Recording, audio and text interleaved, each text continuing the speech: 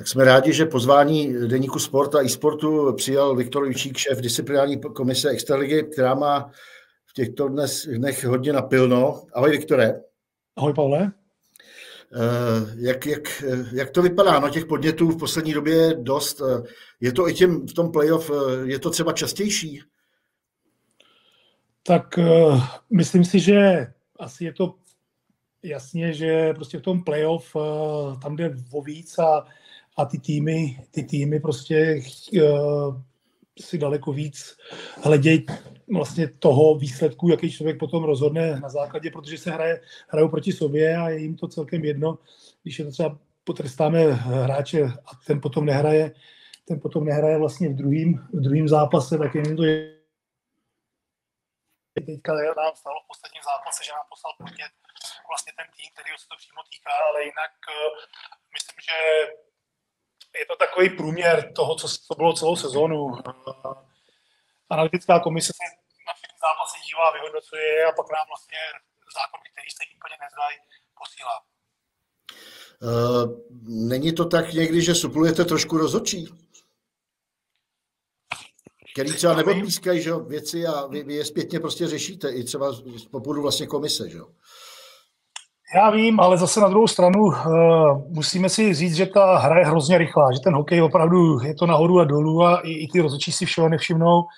Uh, je dobrý, že teďka můžou vlastně se dívat i na ty záznamy, když si u toho uh, zákroku třeba jsou úplně jistý, jestli to bylo na menší trest, nebo jestli to bylo na větší trest, takže se na to můžou podívat a, a vlastně už uh, v tom zápase potom ten trest si odpovídá tomu, uh, čemu by měl, ale samozřejmě jsou tam další věci, které jim uniknou a, a nedá se to všechno prostě zachytit, podle mě. Jak to probíhá? Protože tam, že tam samozřejmě jsou pak reakce, trest byl mírný, trest nebyl žádný, trest byl moc velký. Eh, kdo to všechno rozhoduje? Jak to probíhá?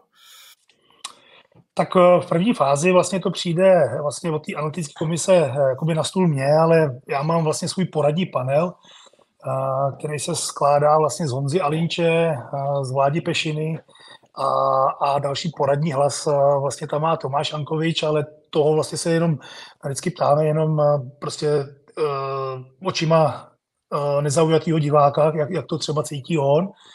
A vlastně na základě naší nějaký dohody potom vyneseme ten první verdikt, který samozřejmě se jako prezentuje, že to je můj verdikt, ale je to vždycky po nějaký poradě nás všech. Najdete vždycky schodu, nebo jak, když, prostě, když se neschodnete, jak, kdo to rozhodne, ty?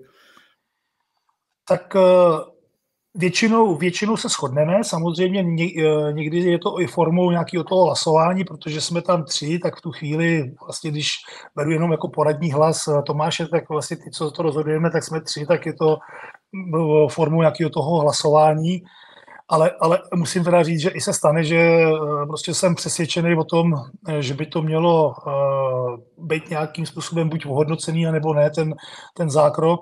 A s tím, že já jdu vlastně se svojí kůží na trh, tak, ale to se stalo tak dvakrát říkal sezónu, že jsem řekl, že prostě chci, aby to bylo takhle a takhle to bylo. Mm-hmm. Kdo ty podněty vlastně všechno může dát, že? tak soupeři na sebe žalujou a komise případně tak je to ta v první a když je, a když je, je, to, je to ta analytická komise, přesně tak. Eh, potom samozřejmě je tam možnost, že na sebe pošlou podnět eh, soupeři, jak si říkal, eh, což je v letošní sezóně hodnoceno částkou 10 tisíc. A, a nebo prostě to potom může být automaticky ten vyšší trest, jakmile tam prostě 5 plus do konce, tak to nám jde na stůl automaticky.